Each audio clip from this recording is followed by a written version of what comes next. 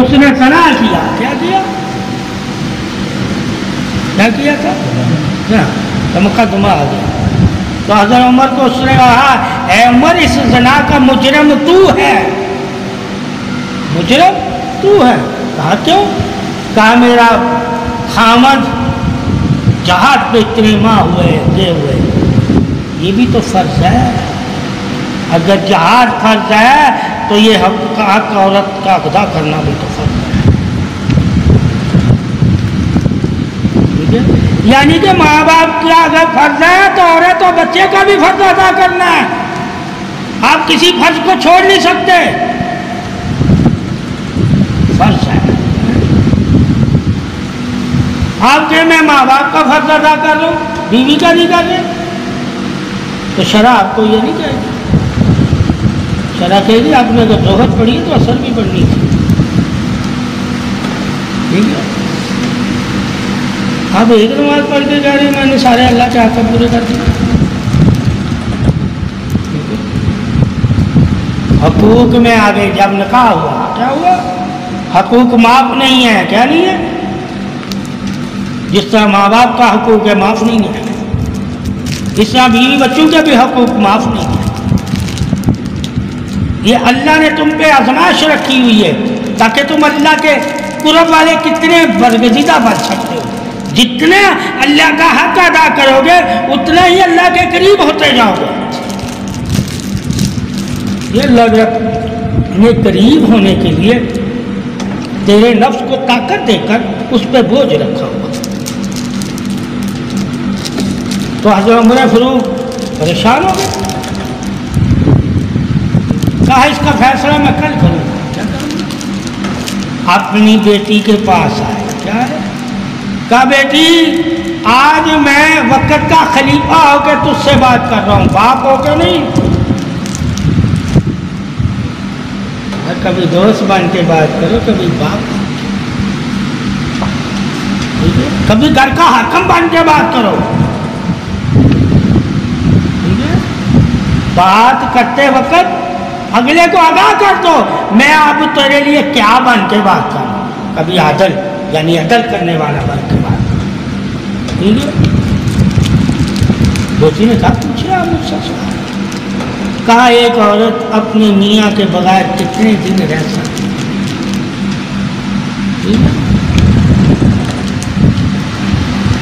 आपकी ने बताया? अगर बहुत साबर है। ठीक है पूरी ज़िंदगी भी रह सकती वरना एक दिन भी नहीं रह सकती। वरना एक दिन भी नहीं रह सकती कि ही उसकी तो इज़्ज़त का महाफज है। कौन? ना उसका भाई, ना उसका सुसर, ना उसका बाप, मियाँ का बाप। उसकी इज़्ज़त का महफज नहीं है, क्या नहीं है? तो वो कैसे रह सकती? वो तो अकेली है। ठीक है? ये देखना जैसे हम घर में बीवी को छोड़ के चले जाते हैं कि भाई है। ठीक है? शरा में ये भाई नहीं है। ये तेरा भाई है, तेरी बीवी का नहीं शरा में शरा क्या चीज़ का पर्दा है, क्या है? तो उससे निकाह जाएगा उसका।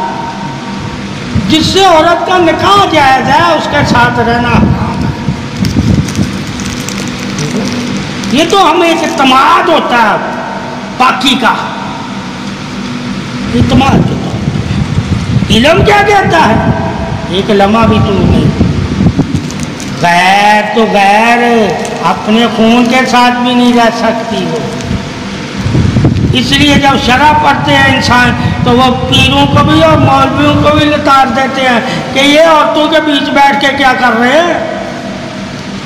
वो शरा की बात है। ये तमाम एक बैठा हुआ क्या? मैं दूसरे की पाकी पे, निगाह पे, शर्म हया पे, अदब पे यकीन है तो हम बैठा लेते हैं। ये जाती यकीन है। तो हुक्म पे आएँगे तो हम जाती यकीन को नहीं मानेंगे। फिर लोग जो हुक्म वाले होते हैं वो जाती यकीन को नहीं मानते। कहते हैं, ये इंसान है खताकार है। ये तो हमारा इतमाद है ना, हमने अपनी बेगम को बिठा दिया, उसको, ये तुम्हारा मगर शरा क्या कहती है? ये तुम्हारा इतमाद अल्लाह तो इजाज़त नहीं देता इससे क्या साबित हुआ? कि हम अल्लाह के हुक्म पे अमल करने वाले लोग नहीं हैं। अपने यकीन पे ज़्यादा हम काम करते हैं। अपने इतमाद पे हम ज़्यादा भरोसा करते हैं। ठीक है? और अपनी बातों को हम ज़्यादा मानते हैं। और अपने हालात से हम ज़्यादा फ़ायदे उठाते हैं। और अपने हालात के हिसाब से हम फैसले करते हैं। इस हिसाब से हम आएँगे तो हम मुसलमान ही नहीं कहला सकते मुसलमान कब कहेंगे? जब अपने घर में अपने नबी की रसालत, यानी फरमान की पासदारी होगी, वो पासदारी हमें नहीं नज़र आएगी। जब हम अपने अतमाद पे, अपने भरोसे पे हम चलेंगे। जब नबी के हुक्म पे चलेंगे और अपनी बात रद्द कर देंगे अल्लाह रसूल को मानेंगे तो हम फिर अपने घर में शरा देंगे इसलिए आज किसी के घर में दीन नहीं है। लानत लानत लानत। क्यों? हम अपने भाइयों को लहदा देखने ही नहीं चाहते। ठीक है? मिल के बैठना चाहते अरे भाइयों का मिल के बैठना जायज़ है। और उनकी बीवी को बिठाना हराम इसलिए फैसला मर्द के हाथ में दिया गया। घर का सरप्रस्त मर्द को कहा, ताकि तुम्हें औरतों से फैसले की ज़रूरत ना पड़े। अगर शरा को जानते, ठीक है? तो तुम आपस में भाई फैसला करते। किसी बीवी की मिजाल ही ना होती, तुम्हें उकसाने की। जब उन्हें तुमने और तुम अपने बीच शामिल कर दिया, वो तुम्हें उकसाने लगता अब फैसले ज़्यादा तुम किस पे करोगे? अपनी औरत के हकूक में, अपने बहन भाइयों के हकूक में फैसला नहीं करोगे। ठीक है? इसलिए इस दौर में ज़्यादा फैसले इंसान अपनी बीवी और बच्चे के हक में करता है, अपने बहन और भाइयों के हक में नहीं करता। झुकाव है उसका। क्या है? बीवी बच्चों और जब अल्लाह रसूल की बात मानेगा तो सबके लिए फैसला एक जैसा करेगा। हकूक बराबरी के हैं, क्या? हकूक? जो बहन का हक है, वो बहन को देगा। जो बाप का, माँ का हक है, वो उसको देगा। जो बीवी और बच्चे का हक है, वो उसको देगा। ठीक है? ये अल्लाह की तरफ़ से फैसले हैं। तो हमने किससे मशवरा लेना है? अल्लाह और उसके रसूल से। और जब हम आपस में मशवरा लेते हैं तो फिर बीवी की बात मानी। तो बीवी खादम है हमारी। बीवी दोस्त है हमारी। बीवी हम राज है हमारी। अब बीवी की सिफत के हिसाब से जब बीवी हमारे ज़्यादा करीब है ठीक है तो हम कुरब वाले को ज़्यादा अहमियत देंगे वहाँ हकूक नहीं देखे क्या नहीं देखे जाएँगे वहाँ साथ देखा जाता। है कि मेरे साथ कौन है? मेरे वारस कौन है? वो कहेगा बीवी और बीवी के बच्चे तेरे वारस हैं। बहन भाई नहीं, तेरी दौलत के वारस तूने जो कमाया इनका है। तो ऑटोमेटिक हमारा जहन उनकी तरफ़ जाएगा कि ये जो कमाई है ये मेरे बच्चों की है। मैंने कमाई है। भाइयों की वरह नहीं है विरासत नफरत आने लगेगी क्या आएगी? जब हकूक की बात होगी। फिर नफरत नहीं आएगी। जब विरासत की बात होगी तो नफरत आएगी। जब हकूक में तो कुत्ता भी तेरे घर में रहता तो वो भी इतनी हक रखता जितना वो गुलाम भी तेरे घर रखता है तो वो भी उतना हक रखता है जितना तू रखता ये हकूक है। मगर गुलाम और रास्तों में तो नहीं आएँगे ना? हकूक में तो बराबरी है, जैसा तू कपड़ा पहनता है, जैसा तू खाना खाता है, जैसा तू अपने लिए पसंद करता है, ऐसा ही गुलामों को नहीं पसंद। हम ज़्यादातर हकूक की नज़र से नहीं सोचते, ज़्यादातर विरासत की नज़र से सोचने लग जाते ठीक है? किसकी नज़र से? हकूक में नफरत नहीं है, विरासत में नफरत है। हुकूक में लड़ाई नहीं है, विरासत में लड़ाई है। इस वजह से हमारे घरों में झगड़े हुए जब उस विरासत का सही तरह से हक नहीं अदा अब विरासत के ही हकूक होते हैं। हकूक? विरासत के मगर वरासत समझ के और वरासत को हकूक समझ के। हकूक समझ से वरासत में तुम्हें तकसीम करना पड़ता है। और विरासत समझ के तुझे अपना कब्जा करना पड़ता है। तो मैं ही अकेला वारस और हकूक समझ के तू अकेला वारस होने के बावजूद भी आठ लोगों को अल्लाह ने तेरी विरासत में शामिल किया। मगर उनके नाम नहीं है। तेरी ज़मीन, तेरा धन, घर, उनके नाम नहीं, नाम तेरे नाम तेरे हमने इन्हें कहा, ये तो चीज़ मेरे नाम है, मैं वारस हूँ। जब शरा में आएँगे तो यही लिखा होगा, तू वारस मगर इसमें हकदार कौन है? कहा, गरीब इस दौलत माँ। बाप तेरा इस दौलत हमसाया तेरा इस दौलत दोस्त तेरा इस दौलत अल्लाह रसूल इस दौलत ठीक है? मुसाफर इस दौलत इस विरासत में से तुम उन्हें भी दिया करो। अल्लाह ये विरासत तुम्हारी दुगनी कर देगा।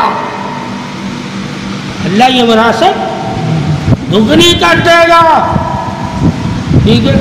अब अल्लाह से विरासत अगर दुगनी को चुराना चाहता है यानी कि दस गुना बढ़ाना चाहता है। तो वो देगा अपनी विरासत से। जिनके हक बनते हैं। और जो वो देगा तो अल्लाह क्या कहेगा? उसकी विरासत को बढ़ा देगा, बरकत डाल देगा, रहमत डाल देगा। तब पर यानी उसकी विरासत का फरिश्ते आसान करेंगे। किसी को चोरी नहीं कर देंगे नुकसान से बचा कर वो किस वजह से बचा रहा है? विरासत तेरी है, तूने अल्लाह के लिए उस विरासत का सही हक अदा किया है। एक ही विरासत है, हक नहीं अदा करता। अल्लाह कहता है, वो विरासत उसके लिए गले का तौफ हो जाएगी। आखिरत में एक विरासत उसके लिए गले का हार हो जाएगी। आखिरत में इसी तरह अल्लाह ने कुरान, हदीस के बारे में कहा यह विरासत है तुम्हारी। ये क्या है? ये भी विरासत आसमानी किताबों का इलम ये विरासत है। किन की? मामलों की। इस विरासत का भी हक अदा करना। अगर तूने एक इलम की एक आयत पढ़ी है तो दूसरों को उसको दे देना। अल्लाह क्या करेगा? उसके बदले तेरे लिए और आसानी करेगा कि दूसरी आयत पढ़ना तेरे लिए आसान कर देगा। तेरे अंदर शौक पैदा होगा। क्या होगा? क्या होगा? मोहब्बत हो जाएगी। तो एक आयत की वजह से लोगों का तूने बड़ा किया, लोग तेरी इज़्ज़त करेंगे। तू कहेगा, यार, एक आयत इतनी इज़्ज़त दे रही है, जब मैं इसको पूरा कुरान ले लूँगा तो मुझे कुरान दुनिया में इतनी इज़्ज़त दे रहा तो अल्लाह ने ही तो मुझे दिया है कुरान इज़्ज़त के लिए। अल्लाह ने दिया जब हम कुरान की अजमत हक से वाक़ होकर कुरान को हम छुएँगे तो कुरान के बारे में हम जानेंगे तो अल्लाह क्या कह रहा ये तेरा सीना भी खोलेगा, तेरा रिजक भी खोलेगा, तेरी अकल को भी रोशन करेगा, तेरे जिस्म की भी हिफाजत करेगा।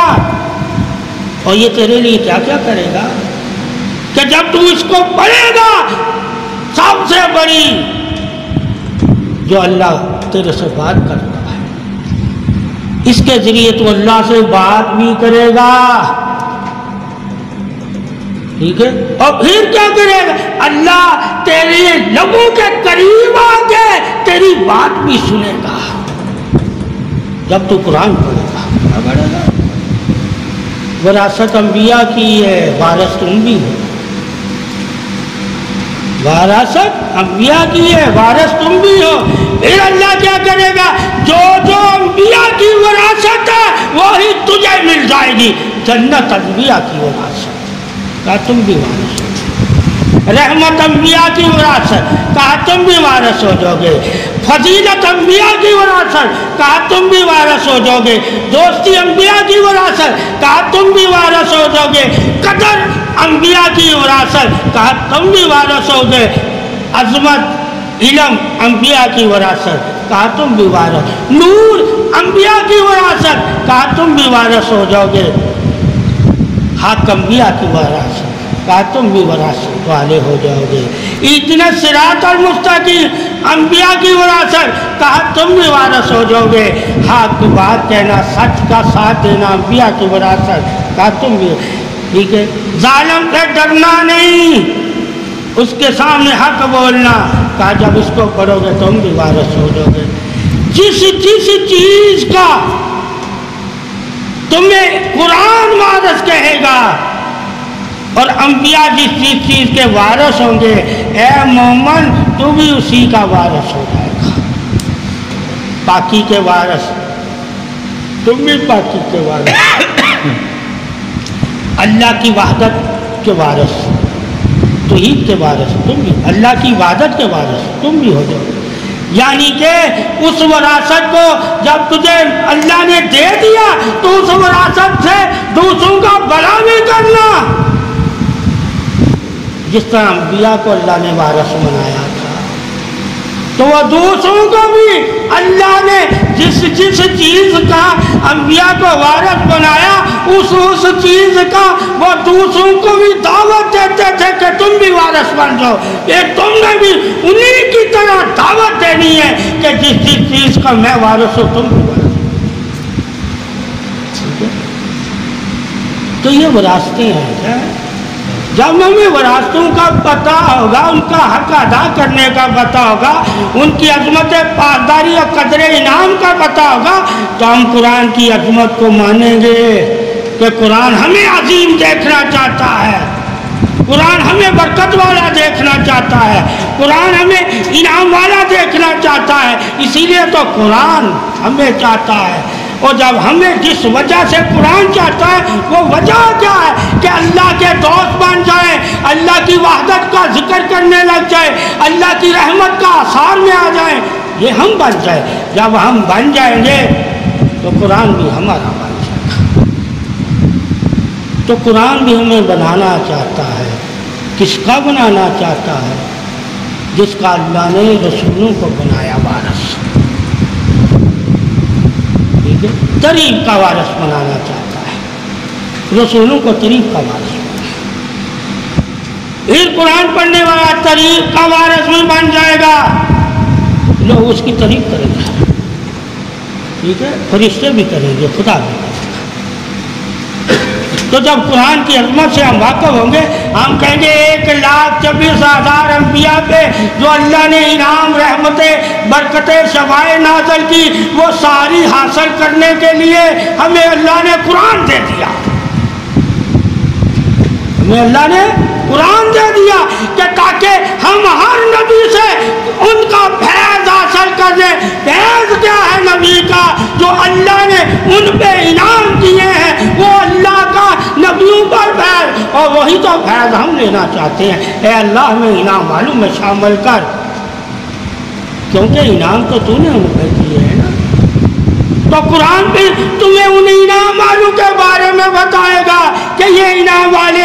और ये क्यों नाम वाले हैं कि हमने इनके साथ कदर उतारी है? वो कदर क्या है?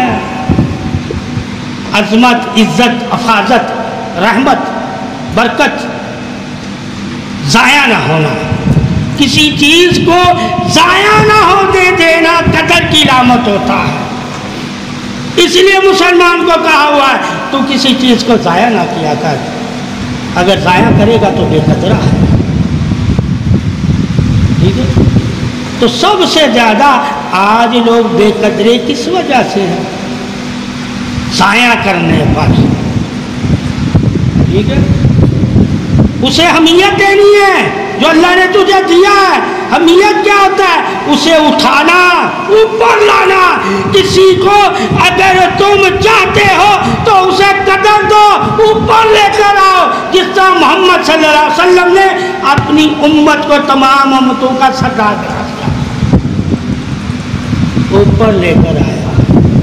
एक लाख छब्बीस हज़ार अम्बिया की उम्मत और नबी की उम्मत उन पर गालिब हो ये कदर है। अगर तुम अपने मिलने वाले, अपने दोस्त अहबाब अपनी सोबत में रहने वालों को कदर की तरफ़ नहीं बुला सकते, यानी कि हमीयत नहीं दे सकते तो तुम अंधे गुंगे बहरे हो। इज़्ज़त क्या है? इज़्ज़त। तेरे पास अगर कोई बैठा है तो उसे इज़्ज़त का शहूर दे। उसे हमीयत बता कि अल्लाह ने तुझे किस लिए पैदा किया है? उसे हमीयत बता। अल्लाह की जब पैदा करता है, चीज़ों की तुझे हमीयत बताएगा तो फिर उसकी पैदाइश की, जब तुझे उसे हमीयत बताएगा कि अल्लाह ने तुझे क्यों पैदा किया? कदर के लिए, इज़्ज़त के लिए, रहमत के लिए बरकत को हासिल करने के लिए, इनाम वालों में शामिल होने के लिए, नूर हासिल करने के लिए, नूर के करीब होने के लिए, दीदार के लिए, अल्लाह ने तुझे जिस वजह से पैदा किया है, वो वजह लोगों को बताना जब वो वजह लोग जानेंगे और उनसे पूछना इस वजह को हासिल क्यों नहीं कर रहे अल्लाह तो ये चाहता है कि तुम हासिल करो। जब वो कदम की निशानियाँ हासिल करेंगे? तो वो भी लोगों की नज़र में इज़्ज़त वाले हो जाएँगे। अब तू अकेला ही अगर इज़्ज़त वाला बनना चाहता है तो फिर तू इज़्ज़त वाला नहीं। अपने तालब इल्म अपनी औलाद, ठीक है, अपने मरीदों को भी वही इज़्ज़त के मकाम बताना जिस इज़्ज़त को तुम चाहते हो। तो जब ये बताओगे, अगर तेरे वो वाकई सच्चे दोस्त होंगे तो वो तेरी राय को मानकर इज़्ज़त वालों में शामिल होने के लिए हर इम्तिहान देने के लिए तैयार हो जाएँगे। और जब वो हर इम्तिहान इज़्ज़त वालों में शामिल होने के लिए, देने के लिए तैयार हो जाए तो यकीन कर लेना कि यही अल्लाह और रसूल के मानने वाले कब यकीन करना? जब इनाम वालों में शामिल होने के लिए, हर इम्तिहान देने के लिए तैयार हो जाए तो तुम मान लेना, यही मोमन है। मोमन की अजमत ही इनाम वालों में शामिल होने से और आज़ाब वालों से नजात पाने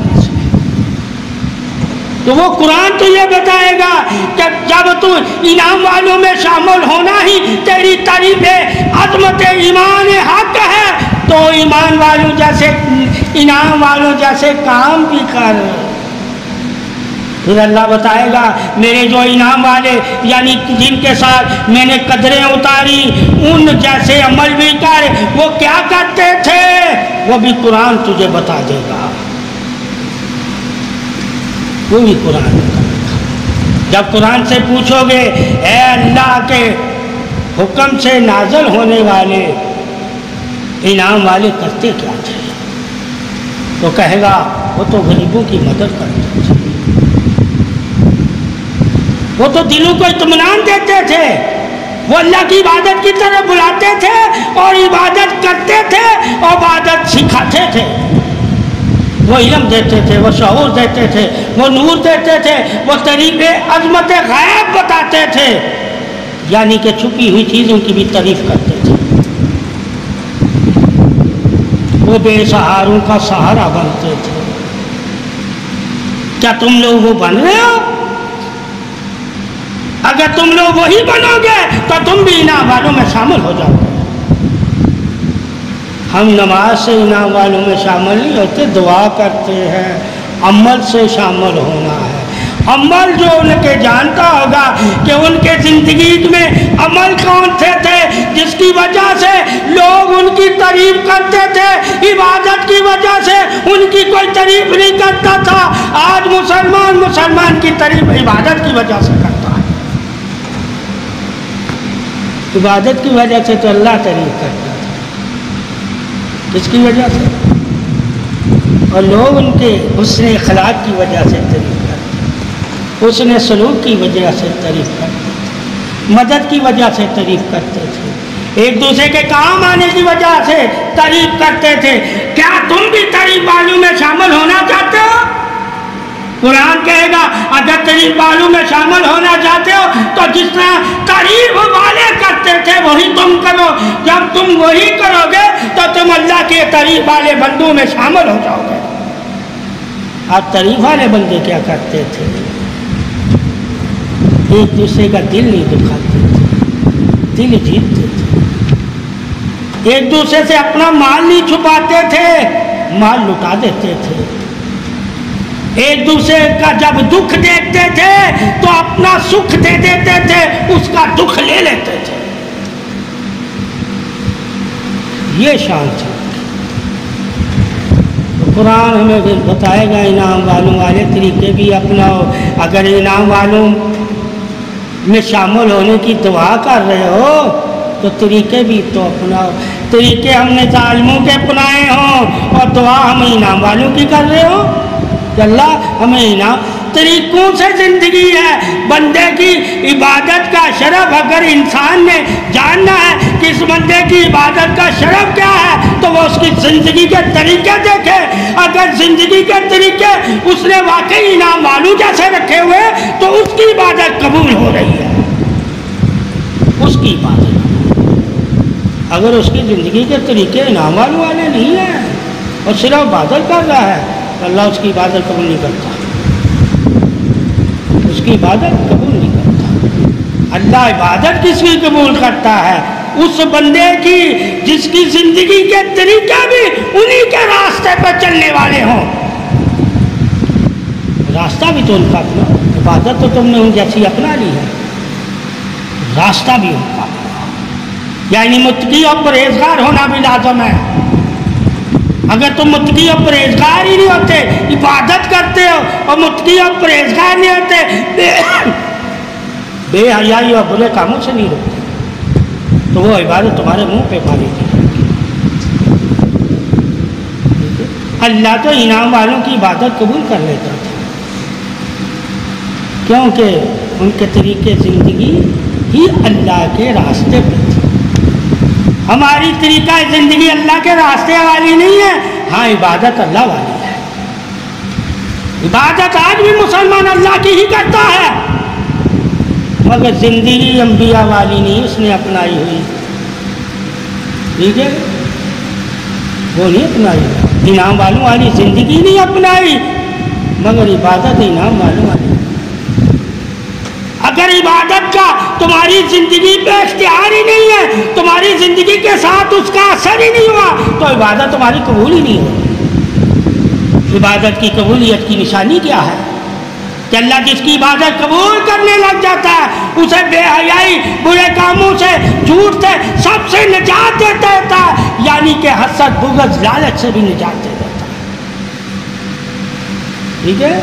बेसब्री से भी निजात दे देता है, सब्र अता जल्दीबाजी से भी नजात दे देता है।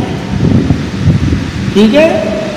अब इबादत की वजह से तुम्हें जिन जिन चीज़ों से निजात मिलती है तो उन्हें देखना है कि एक दवाई खाने से जिसने वो दवाई ईजाद की, उसने कहा, इसके खाने से ये मर्ज तेरे दूर हो जाएँगे। क्या हो जाएँगे? अगर वो दवाई खाने से हमारे मर्ज दूर नहीं हो रहे तो फिर मशवरा करना पड़ेगा। क्यों नहीं अल्लाह ने भी कहा है, ठीक है, कि इबादत करने से तुम्हारे मर्ज दूर हो जाए कौन से मर्ज? जो दुनिया की चाहत की वजह से तुम्हारे दिलों पे जंग लगा के तुम्हारे दिलों को सहत कर गए। वो दिल तुम्हारे नरम हो जाएँगे। वो समझ अल्लाह तुम्हारे दिलों से हटा देगा। वो स्या दिल चमका देगा। कहा अल्लाह ने भी तो शर्तें रखी हैं कि मैं ऐसा करूँगा। अगर अल्लाह अपने वादे को पूरा नहीं करेगा तो कौन करेगा? अल्लाह ने इबादत करने वालों के साथ वादे किए हैं कि अगर तू मेरी इबादत करता है तो मैं तेरे रिजक को तेरे लिए वसी कर दूँगा। अगर तू मेरी इबादत करता है तो मैं तेरे लिए रास्ते आसान कर दूँगा। अगर तू मेरी इबादत करता है तो मैं तुझसे आजाब उठा लूँगा। अगर तू मेरी इबादत करता है तो मैं तेरे लिए बीमारी इनाम बता, बना दूँगा। अगर तू मेरी इबादत करता है तो मैं तेरी औलाद को तेरा ताबेदार बना दूँगा। अगर तू मेरी इबादत करता है तो मैं तेरी बीवी को हयात कितनी चीज़ें अल्लाह अपनी इबादत की वजह से बंदे मोहम्मद को देना चाहता है।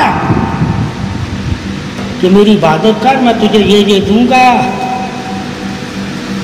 अगर अल्लाह की इबादत करके मैं वो चीज़ें ना मिले तो समझो हम बेकदरों में चले हमने गौर फ़िक्र करना छोड़ दिया कि इबादत का शरफ हमें क्यों नहीं मिला? दुनिया में, अल्लाह ने तो दुनिया में भी वादा किया मैं इबादत का शरफ से तुम्हें क्या दूँगा? इतमान दूँगा इतमान दूँगा तेरा कलब हर वक्त मेरे यकीन कामल के साथ मेरे भरोसे से रज़ी रहेगा मुझसे कभी शिकवा नहीं करेगा ये मैं तुझे इबादत की दौलत दे रहा हूँ बरकत वाला बना दूँगा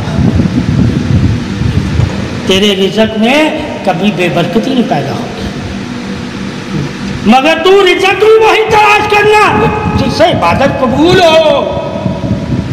ये भी शर्त है। कि ऐसा रिजक खा के भागना कर लेना, जिसकी वजह से अल्लाह इबादत कबूल ही ना करता हो। रिजक भी वही हासिल करना, जिसे रिजक से तुझे अल्लाह मिले।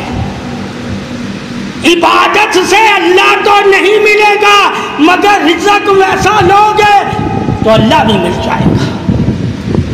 तुम अगर इबादत के ज़रिए ही अल्लाह को तलाश करने लग गए, जाओ तो ये तुम्हारी जहालत है। ये तुम्हारी जहालत होगी कि इबादत के ज़रिए अल्लाह मिलता है। कहा नहीं, पहले इबादत के, कबूलियत के अशारे भी पढ़ कि किन लोगों की इबादत मैं कबूल करता हूँ? जिनका रिजक पाक होता है, कपड़े पाक होते हैं, नीयत पाक होती है, बदन पाक होता है, गुमान पाक होता है, जबान पाक होती है, निगाह पाक होती है महसूसात पाक होता है। जब तक ये तू आठ, दस चीज़ें अपने वजूद पे गालब नहीं करेगा, अल्लाह तेरी इबादत नहीं कबूल करेगा। जितनी मर्ज़ी इबादत कर लेना,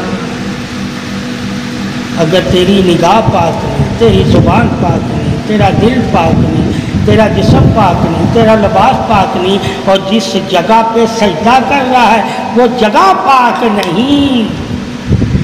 तेरा गुमान पाक नहीं। तो तेरी इबादत कबूल नहीं होगी। अल्लाह के बाद। इसको मुजाहदा कहते हैं, इसको सीखना सिखाना कहते हैं। इसी वजह से लोग सोबत इख्तियार करते हैं। नमाज़ तो हर कोई तुम्हें सिखा देगा, सोबत तुम्हें ये गुमान आता करेगी।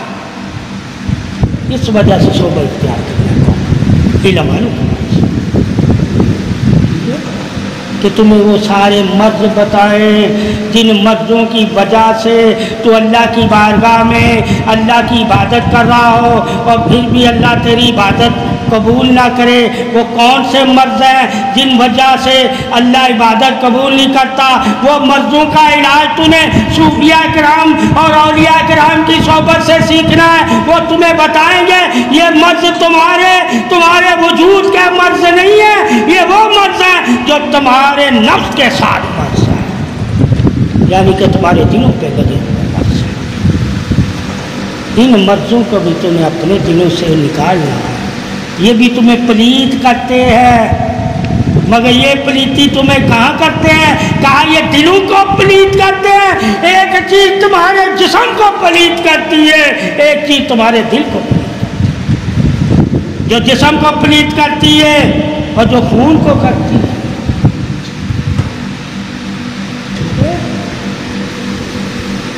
शराब किसको पलीत करती है? खून? किसको करती है पलीत जिसम को ठीक है? हमने प्रीति भी देखनी है कि नपाकी की क्या क्या शरण कौन सी नपाकी कितने दिन तक के लिए होती है और कौन सी की नपाकी फ़ौरन धुल जाती है। ठीक है? हमें नपाकियों का भी न पता हो हम सिर्फ़ जिस्मानी नपा नपाकी से नजात पाई हो और हम कहें, अल्लाह की हम इबादत करते हैं और अल्लाह हमारी इबादत कबूल करता है। इसीलिए तो अल्लाह ने तफीक दी। अरे तफीक तो मुनाफा को भी अल्लाह ने दी है। इबादत की। वो भी तो पाँच वक्त नमाज़ पढ़ता। कुरान पढ़ने की तफीक उसे भी दी है। वो भी तो कुरान पढ़ता है। वज़ू करने की तभी अल्लाह ने उसे भी दी है। वो भी हाथ चुमरा वज़ू करता है। किस चीज़ की? अल्लाह ने उसे तभी की नहीं दी। किस चीज़ कहा अल्लाह ने उसे इल्म गायब पे ईमान रखने की तफीक नहीं नूर वाली ज़िंदगी नहीं उसे दी। वो बगैर नूरा है। अब नमाज़ में तो हमारे साथ खड़ा मगर अल्लाह कहता है, जिस तरह काफरों को मैंने नूर नहीं अदा किया, कौन सा नूर? जो कलम में ईमान वाला नूर होता है। कुरान तो काफर भी पढ़ लेता है। पढ़ने से कहीं साबित है कि बंदा नूर वाला हो जाएगा? नूर वाला होने के लिए सिर्फ़ हदीस से यही साबित है। पंज तन पाक की मोहब्बत, मौला अली की मोहब्बत होगी तो वह नूर वाला होगा। कुरान वाला नूर वाला नहीं है। कुरान तो नूर की तरफ़ बुलाता है। कुरान नूर की तरफ़ बुलाता है। और नूर उसे मिलता है, जो मोहम्मद और मोहम्मद की आल का हो जाता है। और जो मोहम्मद और मोहम्मद सल्लल्लाहु अलैहि वसल्लम की आल का ही ना हो, उसके सीने में चाहे कुरान हो, नूर नहीं होगा। कुरान हो, नूर नहीं होगा। तो कुरान पर फख्र करेगा मुझे, कुरान बचाएगा। मेरी शफात करेगा कुरान। क्या वो शफात भी उन्हीं की करेगा? जिनसे मोहम्मद वसल्लम राज़ी होगा मोहम्मद वसल्लम किन से मुँह फेरते थे, जो आले रसूल से मोहब्बत नहीं करता था, नबी उस साहबी से भी मुँह फेर लेते थे।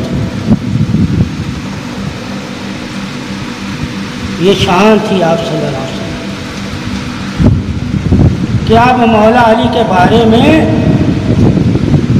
मुखालफत में बोलने वाले को पसंद ही नहीं। ठीक है? और फिर साहबा के बारे में है कि साहबा के मुखालफत में बोलने वाले को पसंद नहीं करते थे। बुग्स में बोलता क्या? जो बुग्ज रख के मोमन से भी मोमन अगर बुग्ज रखता है तो वो भी मुनाफत है जब मोमन मोमन से बुक्स रख के मुनाफत हो सकता है तो वाले बैर से बुक्स रख के मोमन हो सकता है क्या?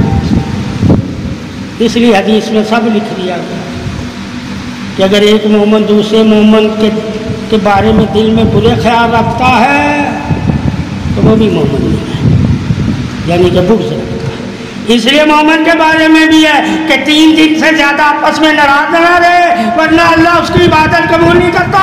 समझो, अल्लाह की इबादत इंसानों के खिलाफ में है। जब तुम्हारे अंदर उसने खिलाफ होगा, इबादत कबूल होगी। और जब नफरत होगी, इबादत नहीं कबूल नफरत होगी, इबादत नहीं इबादत मोहब्बत वालों की कबूल होती मखलूक से मोहब्बत करना भी लाजम है। ठीक है? माँ बाप से मोहब्बत करना भी लाजम है।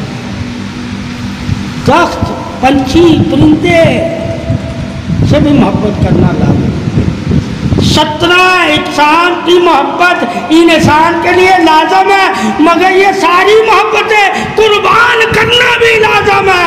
यानी कि ये सारी मोहब्बतें एक तरफ़ हो तो मोहम्मद सल्लल्लाहु अलैहि वसल्लम की मोहब्बत एक तरफ़ तुम इन सब मोहब्बतों को छोड़कर नबी की मोहब्बत की तरफ़ आ जाओ मोहब्बतों को छोड़, हकूक उनके अदा करते हकूक अदा करना, मगर उनसे मोहब्बत ना करना, मोहब्बत अल्लाह के नबी से करना।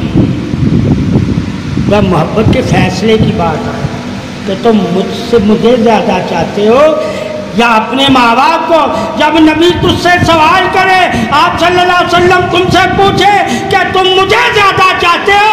या आप सल्लल्लाहु अलैहि वसल्लम को तो वहाँ तुम्हारा इम्तिहान है कि तुमने क्या कहना है? वहाँ वही कहना है जो हज़रत उम्र फ़रूक रज़ी अल्लाह ने कहा कि अल्लाह के नबी माँ बाप सारी दुनिया क्या, हर चीज़ में आपको तो आपने फरमा अब तो दीन में मुकम्मल हुआ है। दीन में मुकम्मल होने के लिए मोहम्मद सल्लल्लाहु अलैहि वसल्लम की मोहब्बत ही सबसे फजीलत और दीन में शांति के लिए आले पाक की मोहब्बत फजीलत है। एक मुकम्मल दिल का हो गया है कि दीन में सलामती वाला ठीक है? तो ये भी जानना है कि हम अल्लाह की इबादत करके दीन में शामिल हैं या सलामती वालों में भी शामिल हैं? कि जिन पे अल्लाह सलामती भेजता है, यानी जिन पे दुरूद भेजता है, उनके साथ भी हम हैं या नहीं? सुने, ईमान मालूम है अगर हम उनके साथ हो जाते हैं तो ईमान के साथ साथ सलामती वालों के भी साथ अगर हम सिर्फ़ साहबा के साथ हैं तो ईमान वालों के साथ। ईमान वालों के साथ। अगर साहबा के साथ साथ हम अहले बैत की भी तारीफ़ करते हैं तो हम ईमान के साथ साथ सलामती वालों के भी साथ। इसलिए लाजम है तरीब साहबा भी, और तरीब सलामती भी। तरीब ईमान भी लाजम है, और तरीब ईमान सलामती भी लाजम है। दोनों लाजम मजूब है। किसी एक को छोड़ा नहीं जा सकता। हाँ साहबा, में तुम ये कह सकते हो कि मुझे फलां साहबी से मोहब्बत ज़्यादा, फलां से कम। वो बात हो। मगर जब आले पाक की मोहब्बत की बात आए तो मोहब्बत नबी की उसमें किसी साहबा को शामिल नहीं इस मोहब्बत में कर सकते तो कहना, सब साहबा की मोहब्बत बेशक है, मगर यहाँ तो साहबा भी अपनी मोहब्बत कुर्बान करते हैं। तो जब साहबा अपने माँ बाप की कुर्बानी इस मोहब्बत को देते हैं तो मैं भी दूँगा ये मोहब्बत का असूल है। अब हम सबसे अफजल दर्जे की मोहब्बत की तारीफ़ करें और छोटे दर्जे वालों की तारीफ़ ना करें तो फिर भी हम मनते हैं। यानी साहबा की मोहब्बत की तारीफ़ ना करें। ठीक है? और आले बैत की मोहब्बत की तारीफ़ करें। अरे आले बैत की मोहब्बत की हम तारीफ़ क्यों कर रहे हैं? ताकि तारीफ़ वाले तारीफ़ के पासदार हो जाए। ठीक है? इसलिए कहते हैं मियाँ, सिर्फ़ एक कोई नहीं देखना, तारीफ़ में तुम चुनती की भी कर सकते तारीफ़ करनी क्या है तुमने। अल्लाह ने कहा, मेरी नज़र से जब तुम देखोगे मेरी बनी हुई चीज़ों को तो हर चीज़ में तुम्हें मेरी ही तारीफ़ नज़र आएगी। तुमने साहबा में मेरी तारीफ़ नहीं देखी, तुमने साहबा को साहबा की ज़िंदगी से देखा है। मगर मेरे नबी की ज़िंदगी से साहबा को नहीं देखा। मेरे नबी अपनी साहबा की तारीफ़ किस तरह कर रहे हैं? तू ज़िंदगी से ज़्यादा वाकफ है। साहबा की या तेरा खुदा और तेरा रसूल साहबा की ज़िंदगी से ज़्यादा वाकफ है। उन्होंने अपने दौर में सब साहबा की तरीफ खुल कर ठीक है? ताकि तारीफ़ करने वाले को शक ना हो कि नबी ने साहबा की तारीफ़ ही नहीं सिर्फ़ अहले बैठ की हम तो सिर्फ़ अहले बैठ की। ये तुम्हारा अपना नज़रिया है कि तुम एक ही तारीफ़ को कुल तारीफ़ ईमान समझते हो, मगर पूरे ईमान वालों की तारीफ़ को भी जो इस ईमान में दाखिल हुए। कुल्ले ईमान तो वो है जो ईमान में दाखिल हुए, वो ईमान वाले हैं कुल्ले ईमान ईमान वालों की भी तारीफ़ किया ईमान वाले। फिर क्या? अब जो ईमान नहीं लाया उनके भी अच्छे कामों की तारीफ़ किया अच्छे काम। ठीक है? क्योंकि अल्लाह ने हमसे वादा किया है कि तुम्हारी तारीफ़ हम दुनिया में तुम्हें दे देंगे, जब तुम अल्लाह के वादे से। मैं यकीन रखते हो तो मोमन ही उनकी तारीफ़ करेगा ना? तो अल्लाह के अहमद उनको तो पूछेगा, तेरी दुनिया में तारीफ़ नहीं होगी? साबुत हो उनकी अच्छे कामों की तारीफ़ करना लाजम है। और तू साहबा की तारीफ़ नहीं करता अल्लाह तो कहता, अगर कोई काबर है तो मैं काबर की भी नेकी की तारीफ़ उसे दुनिया में दे देता। हूँ क्या शान है हमारे रब की। ठीक है? रब के फरमानों को पढ़ोगे, हदीसों को पढ़ोगे तो पता चलेगा कि तारीफ़ अल्लाह सब की करता फ़र्क इतना है। कुछ लोगों को अल्लाह दुनिया में ही तारीफ़ का बदला दे देगा और कुछ लोगों को आखरत में तारीफ़ वालों में शामिल कर लेगा और कुछ लोगों को दुनिया में ही तारीफ़ वालों के साथ तारीफ़ ख़त्म कर देगा। इसलिए कोई बंदा ऐसा नहीं है जो तारीफ़ ना करे। मगर तारीफ़ करना लाजम है। चाहे कोई काफर भी हो, उसकी तारीफ़ कर ठीक है? ताकि तू अल्लाह का हक अदा करे कि अल्लाह, तूने इनसे वादा किया था ना, दुनिया में ये अपने अच्छे कामों की तारीफ़ पाएँगे तो मैंने इनके अच्छे कामों की तारीफ़ की। मगर आखिरत में जो तारीफ़ वाले थे, मैंने उनकी भी तारीफ़ की। जिनको तूने आखिरत में तारीफ़ वाला बनाया, अजमत वाला बनाया बख्शश वाला बनाया जन्नत वाला बनाया। मैं उनकी भी लोगों को तारीफ़ करता था और इनकी भी करता था ताकि दोनों जान जाए कि आखिरत में कौन तारीफ़ वाले हैं और सिर्फ़ दुनिया में कौन तारीफ़ नेकी का बदला भी इसी तरह है। क्या है? इसलिए समझ गया मुसलमान कि तारीफ़ सब की जाए। दुनिया में आखिरत में सिर्फ़ तारीफ़ उनकी जाएगा जिनको अल्लाह